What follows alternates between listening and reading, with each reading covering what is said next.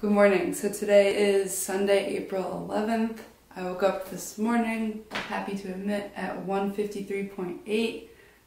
That is huge for me. I don't even know what happened. I feel like I was in a bit of a plateau. I was stuck at 156 for so long, like three to four weeks, something like that. So we're at 153.8 now, which I'm not putting too much weight on that, but I'm very proud and glad. Just means we're headed the right direction, you know. Um, I can see it's showing in more so how my clothes fit me, and I actually thrifted and marshaled, which is thrifting-ish to me, some clothes that are a size 8, so that's a new size entirely for me. All my clothes have been fitting not properly, so I'm going to do a little try on haul for you guys and read a journal entry while I do so. So I hope you guys enjoy. Okay, so this is an actual journal entry that I wrote. I was feeling a need for reflection, so I'm just going to read you guys what my mind put on paper. Lately, I've been feeling very good in my body. I feel strong, I feel bright, somehow I even feel taller. I've been putting in the work each and every day to feel this way. If you've been following along on my channel, you know I've been on a weight loss adventure of sorts. I've been seriously monitoring my calorie intake since January. I've limited added sugar, I drink a gallon of water a day, and I'm starting week 9 of the Epic 2 program by Caroline Girvan, which has been the main contributor to me feeling stronger. So, the scale.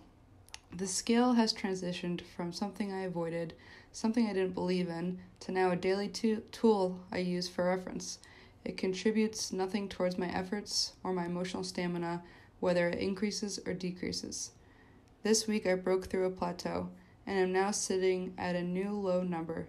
This is still something that I'm proud of. This is the high school weight, the goal weight which I journaled about, that I would be rewarded with a bikini and a beach vacation. You know, the one that you're like, this is it. This will be everything. Now that I'm here though, I have new goals. I woke up at 154.4, a half pound past my goal weight, and I know I still have a lot of work to do. I'm not sad, frustrated, or upset that I'm not done yet. Truthfully, this experience has been so enjoyable that I don't really want it to be over yet. I enjoy being conscious of what I put into my body. I enjoy fueling myself with good, healthy foods. I now love exercising and feeling what my body is capable of achieving. I'm finally getting used to my reflection and seeing my body change. I'm actually even starting to notice it myself. So I bought new clothes. Something I've always been weird about. In the past, if I ever lost weight, I felt uncomfortable in my clothes because they fit differently, loosely. I think subconsciously I sabotaged myself to go back to that feeling of no change and control, except it wasn't control, because I would just gain more weight and pretty soon those same clothes would be too tight, so I'd buy a bigger size. Why didn't I embrace the looseness of the clothes right away and buy a smaller size? Why was I okay with buying larger sizes but not smaller sizes? I thrifted these items for less than $20, so it isn't a huge expense to get better fitting clothes. I think I was afraid of change and being vulnerable. Vulnerable to others noticing the weight loss and commenting. Would that mean they noticed how poorly I looked before? Accepting that I was unhealthy and the number on the scale had nothing to do with my validity helped me mentally distinguish weight loss from being a chore to a side effect of healthier habits.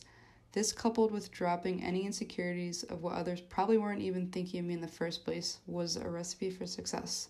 So here I am, rocking a size 8 and a medium, which feels like a much bigger milestone than hitting that high school weight.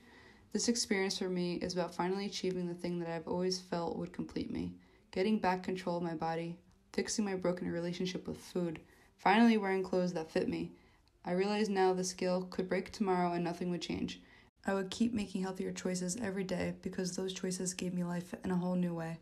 I feel proud and I feel damn accomplished. I feel really happy knowing I get to keep working on myself, and even though I kind of get nervous thinking of myself at a lower weight and a lower size, I know it's what I really want, so I'm going to have it. I'm still buying a bikini, and I'm still going to the beach though, because I did earn it, and I owe it to the girl who journaled for years, rewarding herself with non food victories every five pounds from 200 pounds. I want to emphasize that achieving this milestone literally convinced me that I'm capable of anything I put my mind to. We all are. You are. You are capable of achieving your wildest dreams. Anything you put your mind to, that you can feel in your heart of hearts, that you want more than anything, you can obtain. So that's been on my mind lately. Thank you guys for letting me share and thank you for watching. I hope you have a lovely rest of your week and I'll see you guys next time.